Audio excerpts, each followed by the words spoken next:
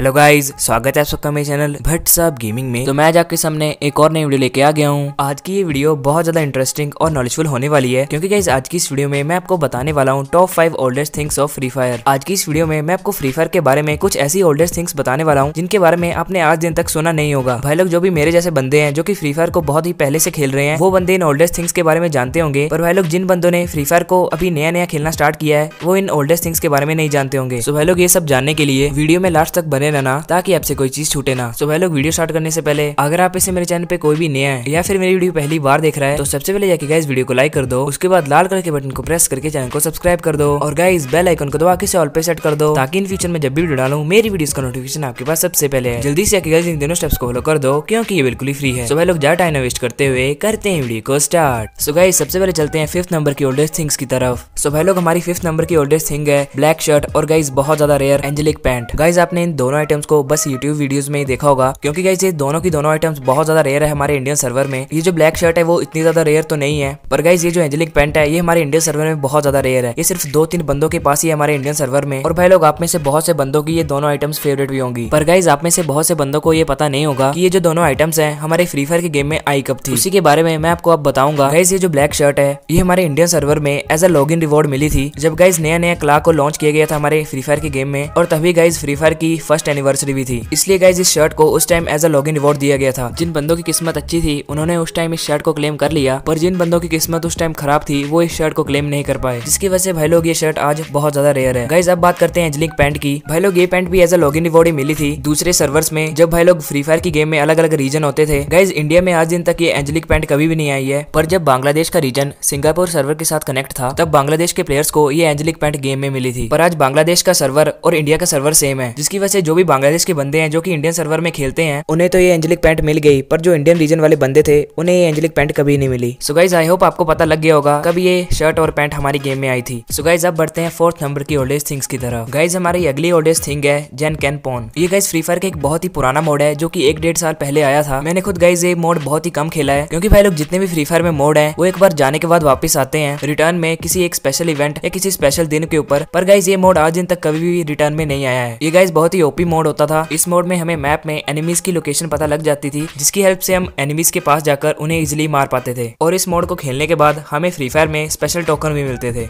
Guys आप में से जिस किसी ने भी ये मोड खेला है, मुझे कमेंट करके ज़रूर बताना, ताकि मुझे पता लग जाए आप में से कौन फ्री फायर का एक ओल्ड प्लेयर है। सो गाइज़ अब चलते हैं थर्ड नंबर की ओल्डेस्ट थिंग्स की तरफ़। गाइज़ हमारी थर्ड नंबर की ओल्डेस्ट थिंग है, वो है guys legendary glue wall guys आपने बहुत सी फ्री फायर में ग्लू वॉल्स देखी होंगी, पर गाइज़ आपने कोई भी एट्रीब्यूट्स वाली ग्लू वॉल नहीं देखी होगी। गाइज़ ये जो हमारी हेलोविन ग्लू वॉल है, इसमें गाइज़ एट्रीब्यूट्स हैं, इसलिए गाइज़ इस ग्लू वॉल को लेजेंडरी ग्लू वॉल कहा जाता है। गाइज़ सबसे पहले मैं आपको इस ग्लू वॉल के एट्रीब्यूट्स बताता हूँ। भाई लोग, इस ग्लू वॉल के एट्रीब्यूट्स हैं minus cover range minus cover height और ट्रिपल क्लाइमेबिलिटी ये गाइज़ फ्री फायर की इकलौती ऐसी आइटम है जिसमें ट्रिपल नंबर का एट्रीब्यूट है। इस ग्लू वॉल को ज़्यादातर बंदे यूज़ नहीं करते क्योंकि गाइज़ इस ग्लू वॉल का साइज़ थोड़ा टेढ़ा है और ये छोटी भी है, जिससे गाइज़ ये अच्छा कवर प्रोवाइड नहीं कर पाती। पर गाइज़ क्लाइंबिंग के लिए ये ग्लू वॉल बहुत ही बेस्ट है। और भाई लोग, आप में से किसी के पास भी अगर ये ग्लू वॉल की स्किन है तो मुझे आप कमेंट करके ज़रूर बताना ताकि मैं समझ जाऊँ, आप एक ओल्ड फ्री फायर प्लेयर हो। सो गाइज़ ये तो होगी हमारी थर्ड नंबर की ओल्डेस्ट थिंग अब चलते हैं सेकंड नंबर की ओल्डेस्ट थिंग्स की तरफ़। भाई लोग, हमारी अगली ओल्डेस्ट थिंग है ड्रैगन अगर आप मेरी तरह फ्री फायर के एक ओल्ड प्लेयर हो तो आपने एक ना एक बार तो इस ड्रैगन को ज़रूर देखा होगा। भाई लोग ड्रैगन फ्री फायर की गेम में एक पहले बहुत ही ओपी चीज़ होती थी। ये गेम को किसी भी तरीके से इफ़ेक्ट नहीं करता था। गेरीना ने सिर्फ़ मज़े के लिए ही ड्रैगन को फ्री फायर की गेम में एड किया था। भाई लोग, अगर आप एक फ्री फायर के एक ओल्ड प्लेयर हो तो आपकी पुरानी यादें ताज़ा हो गई होंगी इस ड्रैगन को देख के।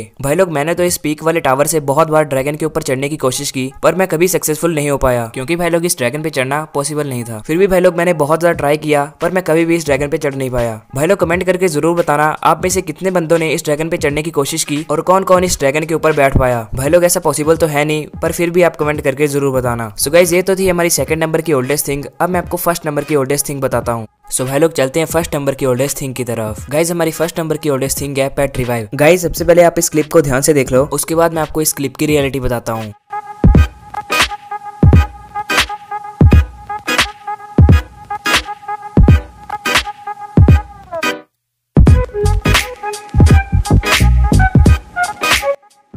गाइज़ आपने इस क्लिप में देखा कैसे इस क्लिप में एक बंदा मिस्टीरियस तरीके से डाउन हुआ और पेट किटी ने उसे रिवाइव दिया। भाई लोग ये कोई भूतिया चीज़ नहीं है। ये सिर्फ़ एक बग था। जब नए नया बरमोडा रिमास्टर्ड गेम में लॉन्च हुआ था, तब ये ग्लिच या बग गेम में आया था। भाई लोग इस ग्लिच में होता ये था, हमारा जो टीममेट था, वो हमें मैप में बहुत दूर दिखाई देता था और पूरे मैच में ना हमारा टीममेट हमें दिखाई देता था और ना ही एनिमीज को। जिसकी वजह से भाई लोग जब क्लिप में उस बंदे का टीममेट उसे रिवाइव दे रहा था, तब ऐसा लग रहा था कि उसे एक पेट रिवाइव दे रहा है। भाई लोग इसे हम एक ओल्डेस्ट थिंग तो नहीं कह सकते, पर भाई लोग एक बहुत ही इंटरेस्टिंग चीज़ थी जो मुझे आपको बतानी थी। और भाई लोग, आप सबने ये नोटिस किया होगा कि हमारे इस चैनल पे बहुत ज़्यादा कम वीडियो आ रही है, जिसका रीजन है भाई लोग, मेरे बोर्ड एग्ज़ाम्स जब मेरे बोर्ड एग्ज़ाम्स खत्म हो जाएँगे, उसके बाद मैं रेगुलर वीडियो डालने की कोशिश करूँगा। पर भाई लोग, उससे पहले कम वीडियो डालने की वजह से मेरा चैनल डेड भी हो सकता है। सो भाई लोग प्लीज़ इस वीडियो को ज़्यादा से ज़्यादा शेयर करना, ताकि मेरा चैनल डेड होने से बच जाए। सो भाई लोग, इस वीडियो में बस इतना ही। आई होप आपको वीडियो अच्छी लगी होगी। अगर आपको वीडियो थोड़ी भी अच्छी लगी तो सबसे पहले इस वीडियो को लाइक कर दो। उसके बाद लाल कलर के बटन को प्रेस करके चैनल को सब्सक्राइब कर दो। और गाइस बेल आइकन को दबा के ऑल पे सेट कर दो, ताकि इन फ्यूचर में जब वीडियो डालू, मेरी वीडियो का नोटिफिकेशन आपके पास सबसे पहले है जल्दी से इन तीनों स्टेप्स को फॉलो कर दो, क्योंकि ये बिल्कुल ही फ्री है। सो भाई लोग, पूरी वीडियो देखने के लिए बहुत बहुत शुक्रिया। आई होप आपका दिन शुभ रहे।